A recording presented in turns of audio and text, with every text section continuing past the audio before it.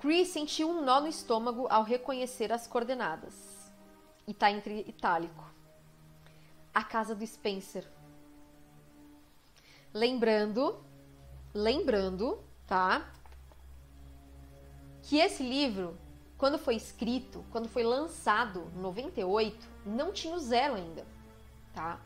E a, a, a, a, localização, as coordenadas, né, uh, de onde eles caem no zero, não é tão perto assim da mansão Spencer, tá? Então é meio que tipo, meio que no, um pouco mais distante e um pouco mais pro lado de onde passava o, o trem mesmo, né, na linha de trem, tá? Então não era exatamente, tá, ali na perto da mansão do Spencer, tá, gente? Mas eles colocaram assim porque não existia ainda né, o Resident Evil Zero, nem, nem os planos, muito provavelmente, de lançar o Zero. Letícia, Chris com cara de eu avisei. Vamos lá. Marine dissera algo sobre um mau funcionamento. Só podia ser coincidência, mas não era o que parecia. Os bravos corriam perigo e estavam praticamente em cima da velha mansão da Umbrella. Então, é, é como se eles tivessem acabado de sobrevoar a mansão da Umbrella, né? Essa mansão do Spencer, né? A casa do Spencer. E aí, ali começasse a dar o problema, a gente tivesse que pousar bem perto, né? E eu quero fazer uma observação aqui, gente, sobre o Resident Evil Zero. Porque no Resident Evil Zero a gente vê que tem aquela linha de trem e tudo mais, né? que leva os funcionários da Umbrella.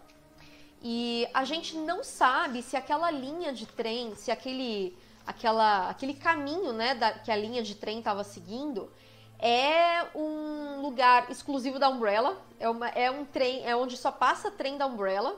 Eu acredito que sim, né? Porque é no meio da floresta, né? Ou se tem, por exemplo, trem turístico, alguma coisa assim, né? A gente não sabe porque não existe essa informação, tá? Bom, eu não sei porque eu tô falando isso, porque não tem linha de trem, né, nesse momento da história aqui, né?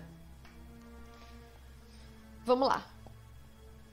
Tudo isso passou pela cabeça dele em uma fração de segundo e em seguida estava de pé, pronto para sair. O pessoal do Stars tomava conta um do outro, não importava o que acontecesse. Wesker já estava na ativa, dirigiu-se à equipe ao mesmo tempo que pegava as chaves e ia ao cofre de armas. Joseph, assuma o painel de controle e continue tentando contatá-los. Vickers, dê a partida no helicóptero e obtenha a permissão de decolagem. Quero todos prontos em cinco minutos. O, cap o capitão destrancou o cofre, enquanto Brad deu o fone a Joseph e correu para fora da sala. Lembrando que o cofre, será que ele tá falando do cofre que ficava na sala dos Stars e foi colocado depois no, no outro escritório no primeiro andar? Né? Porque aí, tipo, ah, ó, eu vou fazer uma teoria louca aqui, tá? Mas tipo assim, olha, esse cofre, né, que tava lá na sala dos Stars e foi colocado, é o cofre do 2236, né? E que foi realocado para a sala do, do, do, escritório, né? Pode ter sido pós-start, tipo assim, esses malucos não vão mais ficar com arma, tá? Esses malucos não vão mais ficar com arma dentro do escritório. Esses malucos do Stars. Porque vai que eles rendem o chefe de polícia. Ou você investiga esse caso ou a gente te mata. Do jeito que o Chris tava, ó. Né? Do jeito que o Chris ia ficar choquito com tudo. Eu não duvido nada, não. né? Ai, ai, ai. É, então. É, é, é, o Irons com medo, né? É o Irons com medo de, de, de tomar um balaço na cara, né? Podia ter só trocado, né, gente, a combinação, mas aí ia ficar mal, mal explicada a coisa, né? Então é aquela coisa meio assim. Não sei o que, que é. Já que vocês não estão usando muito, né? A gente vai pegar esse cofre e vai colocar lá embaixo. Mas ia dar. Ah, tem, o tem até, até a, a, sala lá, de, né? Tem lá no armazém, lá embaixo, ó, tipo, tira o acesso dos stars do porão, do subsolo, pelo amor de Jesus. aquela coisa assim. A Leti falando, duvido nada, inclusive fico surpresa que o Chris não tenha feito isso. Tá explicado aí, ó. Tem uma boa teoria do porquê que aquele cofre saiu de lá. Olha aí, ó. Tá vendo? É, o Irons pensa em tudo, pô. O capitão destrancou o cofre. Dois, dois, três, seis. Enquanto Brad deu o fone a Joseph e correu para fora da sala. A porta de metal reforçado se abriu, revelando um arsenal de rifles e pistolas guardados acima de caixas de munição. Wesker se voltou para o resto deles com uma expressão tão fria quanto antes, porém com a voz carregada de autoridade. Barry, Chris, quero que vocês coloquem as armas no helicóptero, carregadas e seguras. Jill, pegue os coletes e mochilas e nos encontre no telhado. Retirou uma das, uma das chaves do molho e a jogou para ela. Vou dar uma ligada para o Irons e garantir que ele consiga reforços e ambulâncias lá na barricada, disse Wesker. Depois falou alto e com clareza. Cinco minutos ou menos, pessoal. Vamos lá. Tá, ele foi falar com o Irons e também com, com superiores da outra empresa também, né, gente? Da Umbrella, no caso, né? Jill foi para o vestiário e Barry pegou uma das bolsas de viagem vazias no fundo do cofre de armas. Deu um sinal para Chris, que apanhou uma segunda bolsa e começou a colocar caixas de balas e cartuchos. Barry se ocupou cuidadosamente das armas, verificando cada uma. Atrás deles, Joseph mais uma vez tentava chamar a equipe do Bravo, mas sem sucesso. Bravo! Bravo! Isso não tá no livro, tá, gente? Bravo! Bravo! Marine, na escuta, Marine! Alguém? Kenneth! Sullivan! É, né, foi nesse nível. Chris pensou de novo sobre a proximidade da última posição relatada do Bravo em relação ao imóvel de Spencer. Havia uma ligação? Se sim, como? É que nessa hora ele não tá nem lembrando mais dos sobrenomes dos caras. É tipo, Kenneth, Richard, alguém fala comigo, por favor, né? Ele já tá preocupado. Os caras, será que o helicóptero deles caiu? né? Tanto que assim, ele, é, a missão do Alpha não é investigar os assassinatos, essa era a função do Bravo. A função do Alpha era resgatar o Bravo, tá? Mas só que como tinha assassinatos envolvidos, eles têm que ir armados. E aí o, o, o Chris ele tá pensando, né? Havia uma ligação? Se sim, como? Bill trabalhava na Umbrella e eles eram os donos do imóvel. Chris agora com cara de Nazaré.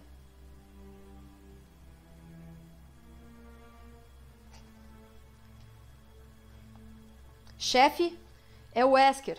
Acabamos de perder contato com o Bravo. Estamos indo para lá. É o Wesker falando com o Irons aqui. Chris sentiu uma dose súbita de adrenalina e se apressou, ciente de que cada segundo era importante. Poderia ser a diferença entre a vida e a morte de seus amigos e companheiros. Uma queda séria era improvável, pois os Bravos estariam voando baixo e Forrest era um bom piloto. Mas e depois de pousar? Ou seja, o problema não é enquanto está sobrevoando, o problema é serem atacados. Né? Então, pousar não é um problema. O problema é ser atacado. Porque pouso de emergência pode acontecer. Né? Ainda mais que eles estavam sobrevoando para ver se eles encontravam mais corpos, algum cachorro, é, algum dos, né, dos cultistas aí da teoria da Jill, algum esconderijo, né?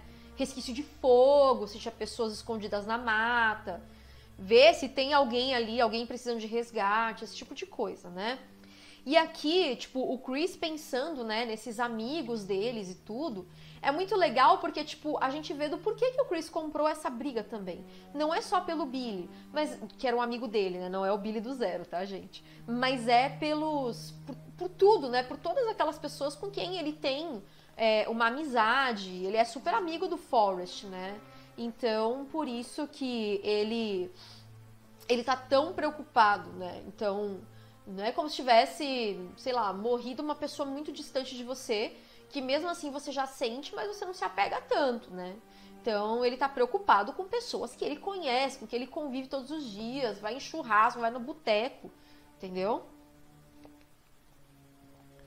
Wesker rapidamente retransmitiu a mensagem para Irons por telefone e desligou, andando na direção dos demais. Vou subir para me certificar de que o helicóptero esteja equipado. Joseph, tente mais um minuto e depois passe a vez para os rapazes da recepção. Ajude os dois a carregar o equipamento para cima. Vejo vocês lá. O Wesker acenou para eles e correu. Eu imaginei o Wesker do 1 mesmo fazendo assim, né? Que eles têm a mãozinha junta. Né? Eles fazendo assim. Uh, Wesker acenou para eles e correu, seus passos ressoando no, no, no corredor, tipo.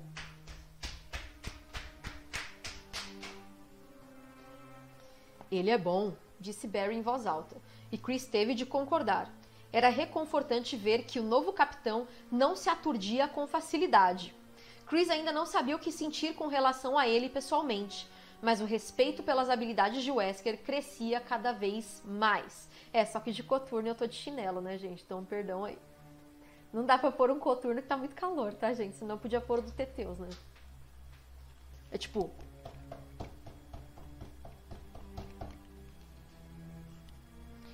É, e aqui a gente vê que o Chris ele tinha é, uma admiração pelas habilidades do Wesker. Ele e o Barry, né? E aí o, o, o Barry falando, pô, ele é bom, né? Tipo, é, e eles pensando que ele é um cara que, nossa, mesmo no desespero, né? Ele mantém a calma. Nossa, que, que bom, né? Que bom que ele é assim.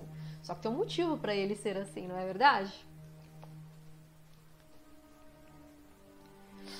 Responda, bravo! Estão na escuta? Repito, Joseph prosseguiu com paciência, voz firme e tensa, e os chamados se perdiam na onda de estática que pulsava pela sala.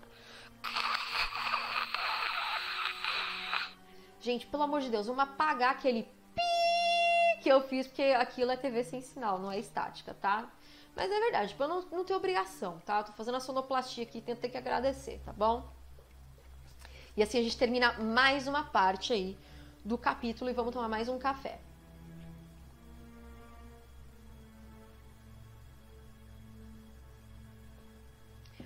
Apesar que no rádio também pode ter uns ih, né? Até você acertar a frequência também. Hã? Tá vendo? Pode ter uns ih.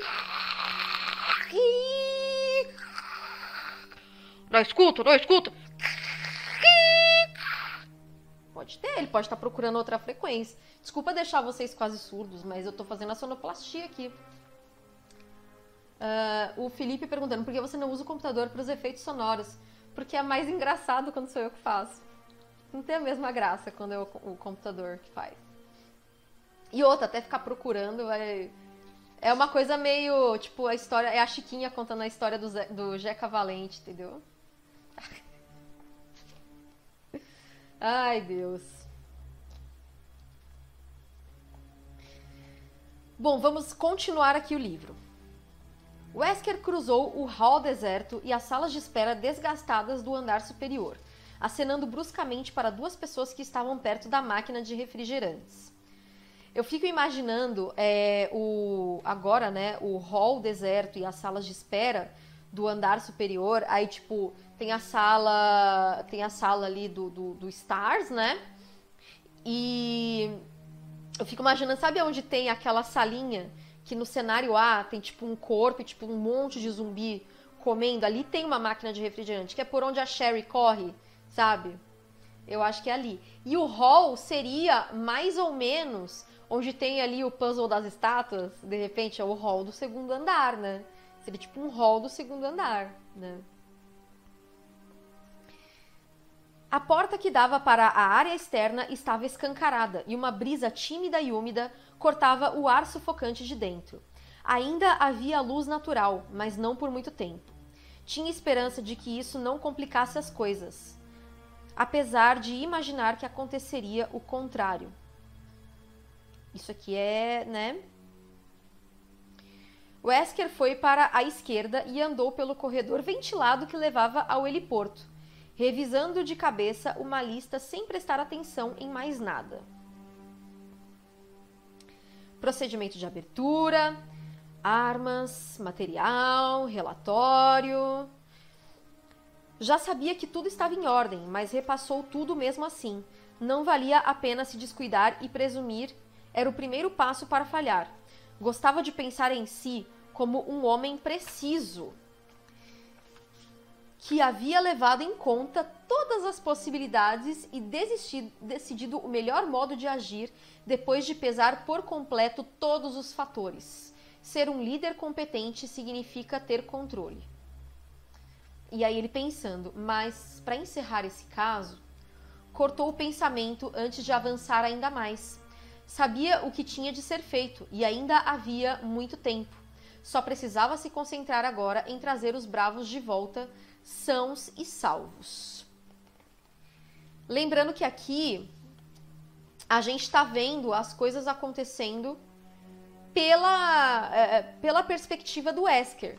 E vocês podem perceber que os pensamentos dele é, são meio ambíguos, assim, né? Tipo, é tipo, ele pensando assim, tinha esperança de que isso não complicasse as coisas, apesar de imaginar que aconteceria o contrário.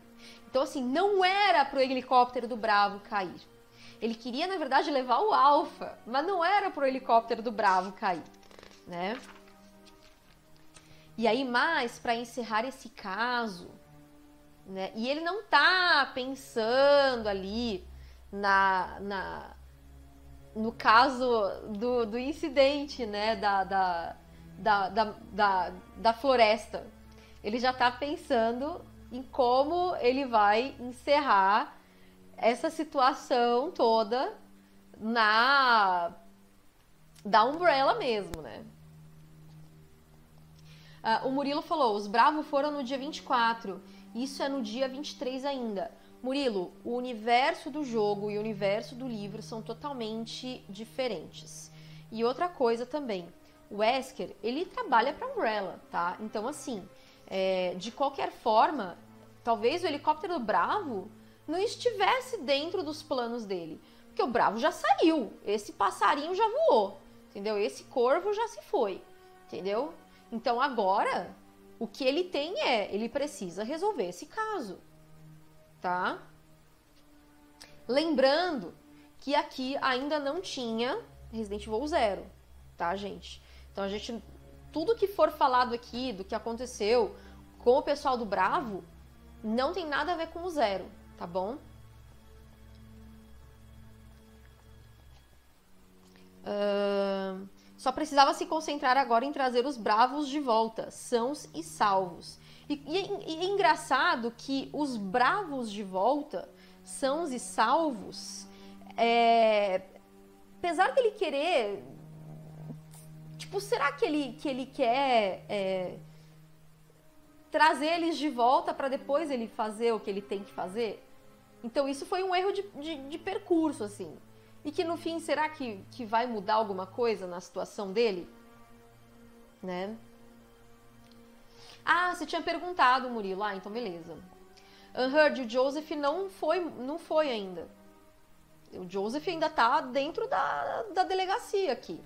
O Joseph nem foi ainda. O Joseph tá tentando contato com o Bravo ainda. A parte do Alpha na, na, na floresta não aconteceu ainda.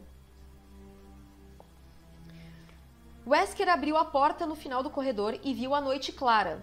O ruído crescente do motor do helicóptero e o cheiro de óleo envolveram seus sentidos. No pequeno heliporto no telhado estava mais frio do que dentro do, do, prédio, parcialmente tomado pela sombra de uma envelhecida torre de água e vazio, a não ser pelo helicóptero cinza escuro do Alfa. E só terminando de responder a pergunta do, do Murilo, né? Se é no dia 23, Nesse momento de Resident Evil, tanto livro quanto jogo, o Resident Evil não tinha data, tá? Ele só foi ter uma data a partir do, do dos Wesker's Report da vida, do remake. Foi ali que ele foi ter uma data, tá bom? Tipo, se é 23, 24, 25, não se sabe, tá bom? Até porque eles saem, porque assim, ó, a, a, os acontecimentos do 4, do, do 4, os acontecimentos do zero, eles são durante a madrugada do dia 24. Só que quando eles vão ainda é dia 23. Tá? Tanto que o acontecimento do 1 acaba no dia 25. Tá? Uh, onde eu me parei aqui? Me... Pela primeira vez pensou no que tinha dado errado com o Bravo Joseph e a novata haviam verificado ambas as aeronaves no dia anterior e estavam boas.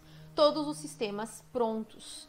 Tanto que no 1, né, no primeiro jogo, a Rebecca fala: pô, é estranho, né? Porque eu revisei o helicóptero recentemente, e, mas parece que teve um problema com o motor e foi um voo bem rápido, né? Ela diz isso no Resident Evil 1 clássico. E aí a gente segue aqui. Dispensou essa linha de pensamento ao caminhar em direção ao helicóptero, sua sombra cinza, sua sombra longa cruzando o concreto. O motivo não importava mais. O que importava era o que viria a seguir. Olha a frase que o Wesker pensa. Espere o inesperado. Esse era o lema do Stars. E isso significava basicamente que estivessem preparados para tudo, então, tipo, espere o inesperado é a frase dos Stars. Mas a frase do Wesker, ela é diferente. Não espere nada. Esse era o lema de Albert Wesker. Talvez um pouco menos cativante, mas infinitamente mais útil. Ele praticamente garantia que nada jamais o surpreenderia.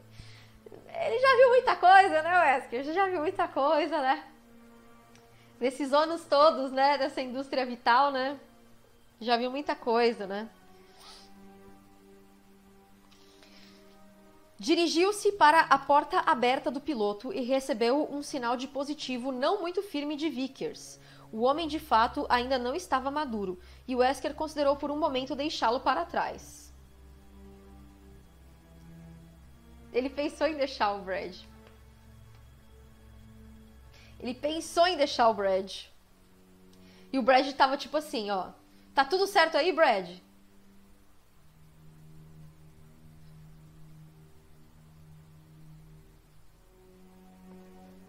O Wesker prevendo a merda. Alican, na verdade, eu acho que o Wesker tava com medo que o Brad derrubasse o helicóptero. Nervoso. Pilotar um helicóptero nervoso daquele jeito. Imagina. O helicóptero andando assim. Todo mundo assim, chacoalhando dentro do helicóptero. tipo, o medo não era o helicóptero, é, tipo, o Brad ir embora. O, negócio era o helicóptero cair, imagina o risco, né? É o Brad, o Brad com água né, na mão, assim, tipo, ele bebendo água, bebendo água, assim. Aí, aí o Wesker. Tudo bem aí? Tudo bem? Tá tudo certo?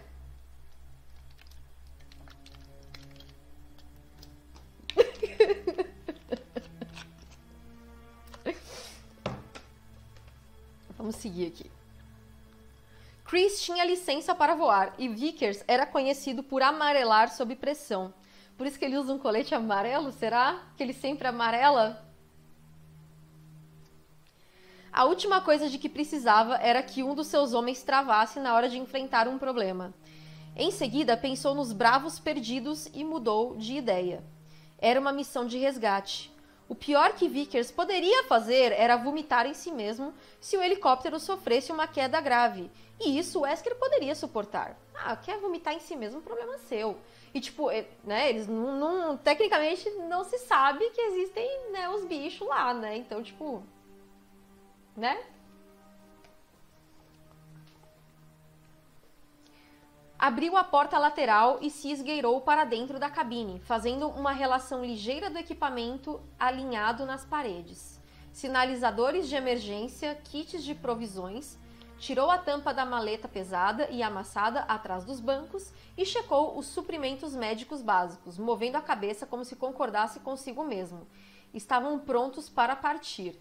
Cara, agora é muito bom. Olha, olha só.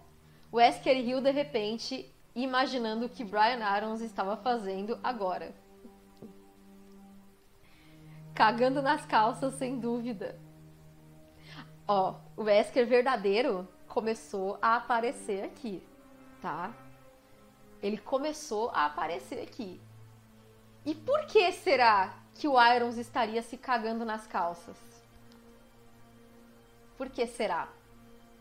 Né? E, tipo, foi tipo assim, ele tá arrumando tudo, daí tipo, cagando nas calças, sem dúvida. Deu um leve sorriso ao voltar para o asfalto aquecido pelo sol, vendo uma clara imagem de Irons em sua mente, com suas bochechas rechonchudas e vermelhas de raiva e com merda escorrendo da perna. Nossa, que nojo essa imagem. Eu falei que as imagens que a, a S.G. Perry coloca são bem fortes. Irons gostava de pensar que podia controlar tudo e todos ao seu redor e perdia a calma quando isso não era possível, o que fazia dele um idiota. Infelizmente para todos eles, era um idiota com um pouquinho de poder. Dê poder a um idiota, você vai ter um Brian Irons, né, gente? Wesker o investigara inteiramente antes de aceitar a posição em Raccoon City e sabia algumas coisas sobre o chefe que manchariam sua imagem. Não tinha intenção de usar o que sabia, mas se Irons tentasse estragar tudo mais uma vez, Wesker não teria receio de deixar a informação vazar.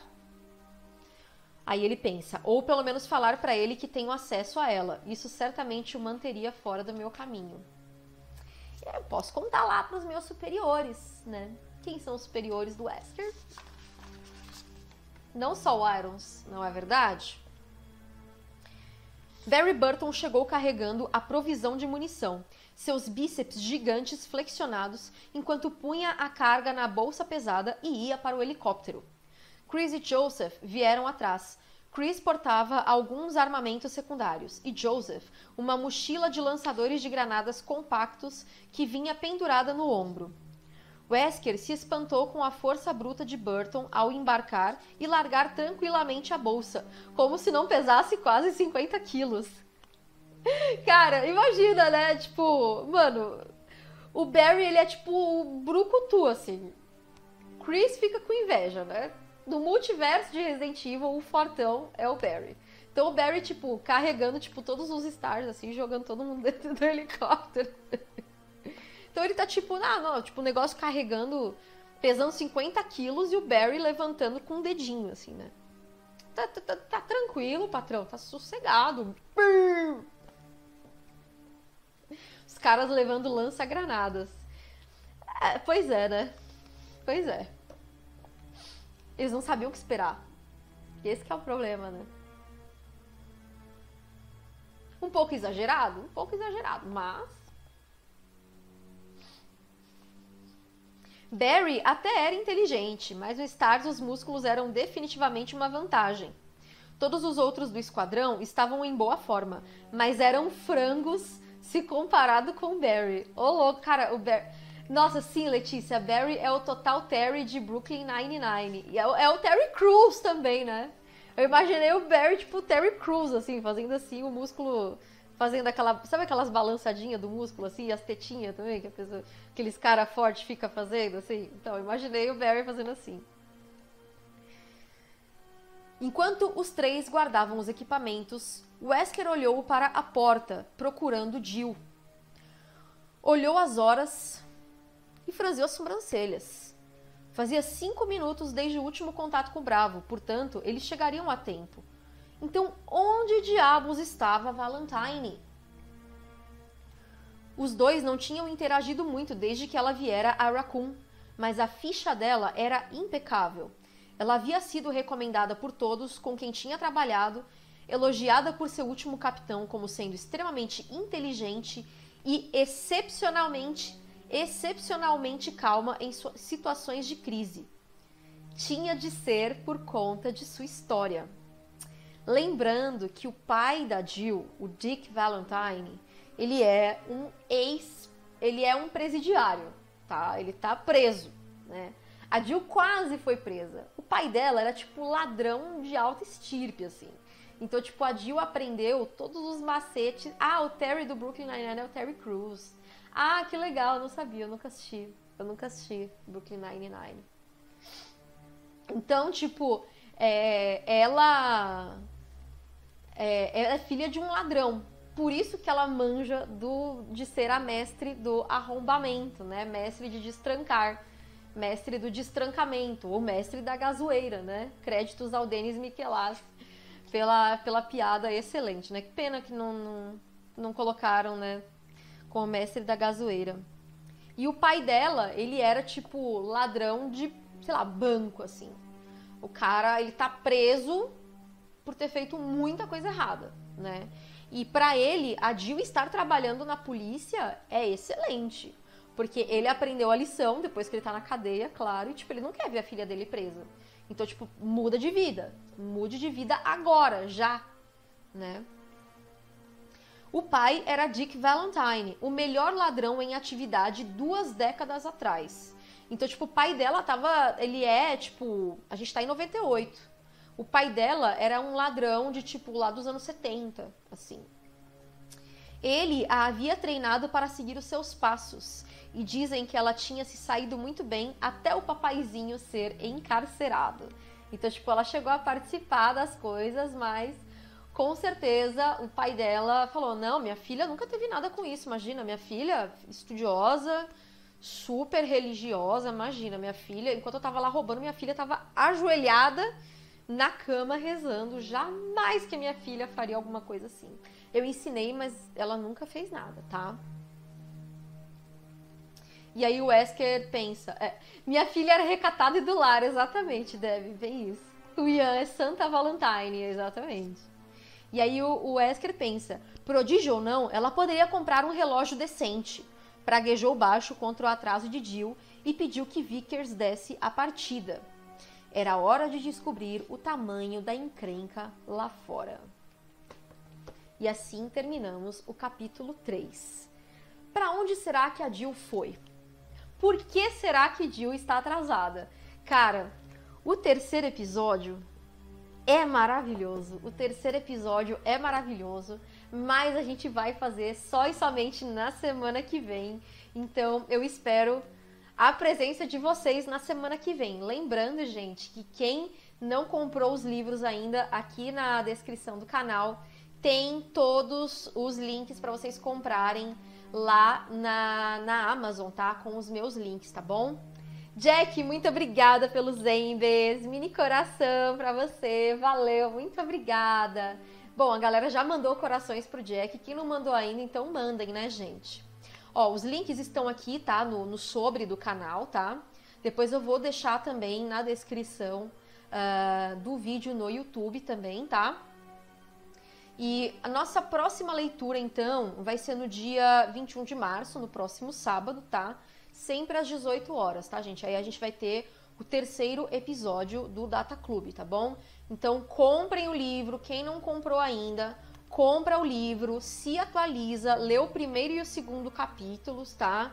É, o terceiro capítulo começa na página 37. Então, tem 37 páginas. Não, não é nem 37 páginas vai ter da página da página 9, tem os dois prólogos, pode ler, né? Até o dia, até a, até a página 37, mas ó, se quiser pode começar a partir da página 13, tá? A ler da 13 até a 36, tá? né? Que é os primeiros capítulos, o 1 e o 2, tá? E aí, gostaram? Gostaram dessa leitura? do segundo capítulo.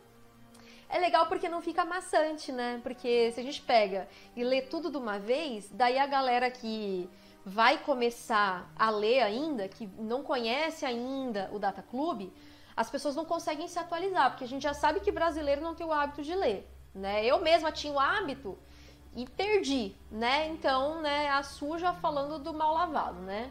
Então eu acho importante a gente ir lendo aos pouquinhos para que as pessoas possam ir acompanhando. Então, quem não comprou o livro ainda tem tempo de comprar pelos nossos links da Amazon, tá? Os links vão estar todos aí embaixo, tá? E aí você pode comprar ou digital ou físico, né? E aí dá tempo de chegar o seu livro se for físico. E se for digital, você já vai lendo os dois primeiros capítulos para no dia 21, que é a nossa próxima live, a gente continuar a leitura do capítulo 3, tá bom? E o capítulo 3 é muito bom, meu. É muito bom mesmo. Vão por mim.